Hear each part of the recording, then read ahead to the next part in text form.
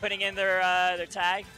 Oh, it's um, we got G Weasley coming up to play, going up against uh, Geki Zaki. Oh, oh, Zaki.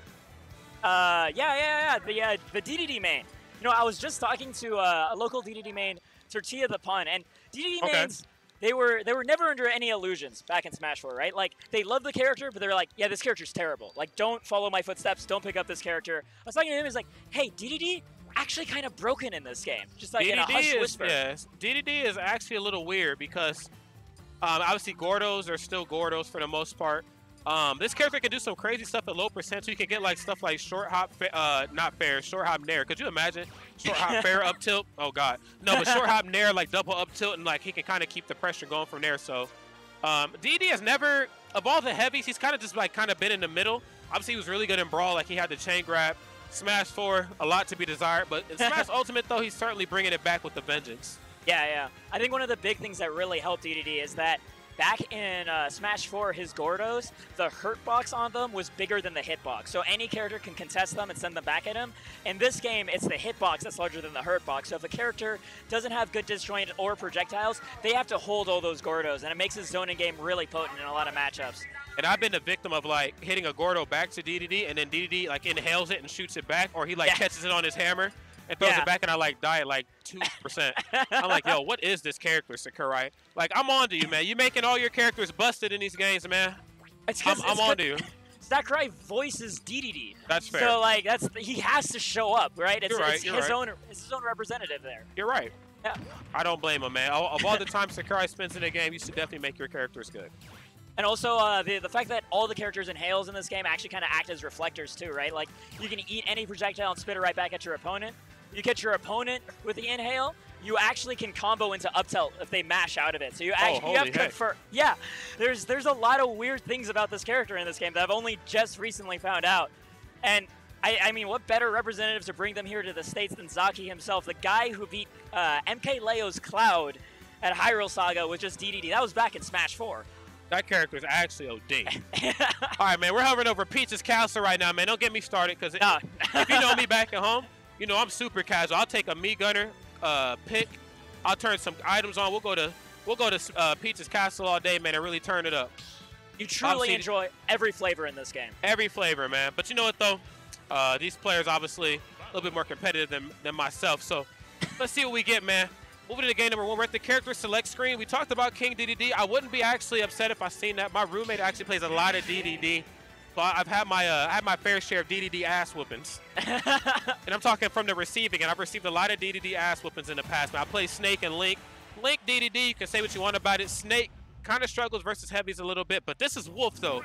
Completely different story, man. As we jump right into game number one, Town and City. Let's get it. This is the largest blast zone stage, especially off of the top. So when you have DDD, who's already such a heavy character and a fast faller, it's going to make murdering him rather difficult for Weasley. So he's going to need to do a really good job of staying in control, especially when he pops Zaki into the air. That's right, smart stuff right there, man. He's seen the Gordo was coming, he just goes for the neutral special. You could tell originally his first instinct was like the short hop ferret, but he was like, why do that when my blaster is busted? Yeah, I can shoot the Gordo back or at least stop him from approaching and confirming off of I mean, hell, even if it gets close, he can use the active hitbox on the, the neutral special and knock it back. But regardless, man, him himself getting knocked off stage here, man, versus Zaki. There's the up air. Not quite enough, though. That almost killed it. He only lived because it was a town and city ceiling. That- Otherwise, it's going to kill Wolf at like 90%. Oh, that was smart stuff. He knew that he was going to do a neutral get up because he didn't want to get hit by the Gordo. The minute he seen that, he went for down tilt, man. Yeah. Playing one step ahead of here at the competition, man. It was it was so good because the Gordo was bouncing high, so that limited Weasley from doing a jump get up. Yes. And then you had Zaki waiting at the roll distance, so he didn't want to roll up either, and it just covered everything. That's right, man. Definitely had himself covered at all points of times, man. This man looked like AT&T right now. the coverage was real. Okay, forward tilt. This is still not a bad deficit here for my man Weasley. 108%. He can certainly make magic happen, but he has to make sure he stays on stage. The main objective here for Zaki, he knows that in terms of fighting in the neutral versus Weasley, that's not going to be the easiest task in hand. You're going to have to play the Wolf's weaknesses. And his biggest and most glaring weakness after being just combo food is his off-stage presence. Yeah, especially his recovery, right? If he goes for the Wolf Flash, he's going to have a real hard time because he doesn't snap to the ledge immediately. Makes some easy pickings, and he has to do it at just the same timing, the same placing, otherwise he's just not coming back. Absolutely. Okay, there it is. There's the up tilt. Okay, good DI right here for my man Weezy. Actually air dodging away, but the forward tilt, very deceptively good, man. It's really good at just covering, uh, you know, jump jumpings in, and then, of course, like rolls in as well, too, which is an area that Wolf really wants to be in. He's trying to get up close and personal uh, here on Zaki. Zaki's doing a really good job baiting Weasley to jump in as well, and then just weaving slightly out of range and trying to punish with the hammer. That's right. Okay, here it is. Nice. The pivot forward tilt once more. Uh-oh, watch yourself. Out into the magnifying glass he goes once more. That's the scary thing about the way Zaki's controlling space as well with the Gordos is he bounces it up and then runs under it when his opponent is in the corner because they can't run through DDD, and if they try to jump over him, they get caught with the Gordo. what the? all right, all right, man. All right, G-Pick. He, he up air through the Lesnar stage, and that was enough to take it. I mean, I know, like, I know Wolf is easy to combo, but god dang. All right, man, that was some that, big brain stuff right here from my man Zaki playing like Takis right now, man. Heating up this match. Let's see what we get here, man, as this thing kind of wraps up. Weasley right now, only 0% on board. Still very far from undoable, but he's going to have to play safe. I get it. You know, Wolf is a very easy character to play, very flow charty for the most part. But I think to be this late in, into pools slash into bracket and at Prime Saga, you know the Wolf matchup like the back of your hand.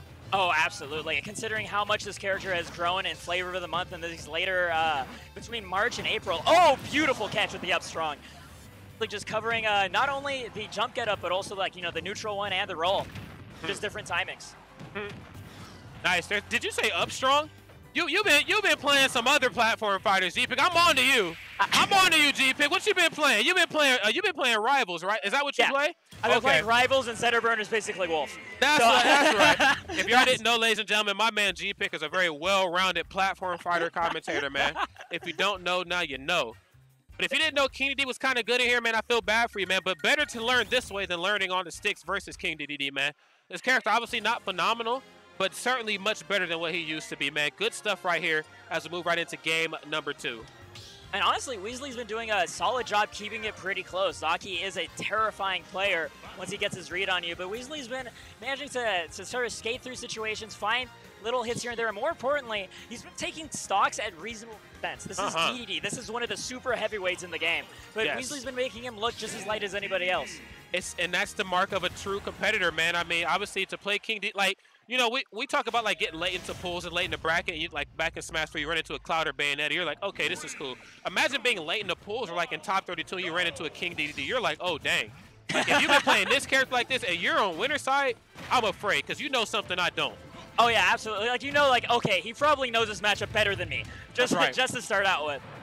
We have actually Kalos as the counter pick here. Another very large Blast Zone stage. I think Weasley is trying to maximize his own survivability, but he's choosing a stage with no platforms for Zaki to use as refuge when he's being juggled.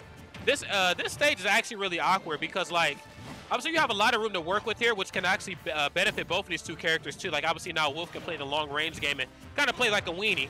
But for the most part here though, Zaki has some very clear advantages too, man. Beautiful stuff right there. Short hop back air. And, oh, oh Tyler oh, Perry. knows. Tyler Perry. Trying to find himself another back here, but once again, Zaki just being kind of uncontested on this second stock on Weasley and catching on perfectly with a jump swallow. He's just going to town on Weasley. That's right, man. The upper right now, trying to play the floor is loud, but that's a little bit more difficult here versus King DDD since he's blessed with a, a couple jumps, not like most characters in the game. Bit of a trade here, 138%! And we're hunting wolves this season, man. Not a good spot to be in at all if you're my man Weasley. Baki is like actually a ping pong champion, right? With the way he just rebounded that Gordo off the platforms that hit Weasley's recovery, that was nuts. That's right, man. 100, uh, excuse me, not 195.9%. Man, I read that percent all wrong, man. Math was never my strong suit, though. Creative writing, that's a different story. No way. Oh, it's still safe, though, on Whiff. Nice stuff. Using a neutral special to get the Gordo out of the way. He's been taking a lot of unnecessary percent, and he got his stock taken from some of those Gordos too, man. He's figuring out a way to try to nullify it. I hope I, he doesn't get three stock, though. I think one of Weasley's ideas with this stage is to use those platforms near the ledge to recover away from the Gordos, but he so far hasn't really been using it. He's been kind of waking up into them instead. Right. Dash attack really have to watch your options versus DDD, man, because since DDD is so long, like kind of like how you talked about before the match started, you think you can kind of get in for free, but that's not the case here, ladies and gentlemen. The up air for his troubles closes it out, and my man Weasley's going to take a trip over into the loser side. Ladies